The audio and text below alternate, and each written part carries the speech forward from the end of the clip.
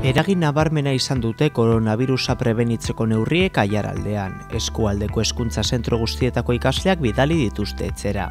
Euskal Autonomia Erkidegoko zentro guztiak izteko agindua eman du Eusko Jaurlaritzak gaur itzi dituzte Arabako ikasguneak eta bihartik aurrera edatuko da neurria Bizkaia osoan ere. Eskualdeko iaudal guztiek gaur jakinarazi dute datozen egunetako jarduera publikoak bertan bera utzi eta erabilera publikoko kultur eta kirolaspigiturak itziko dituztela.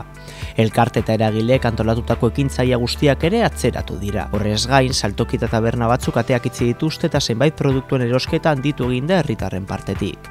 Momentuz, koronavirus kasu bakarra konfirmatu da eskualdean, guardian enpresako langile batek pairatutakoa.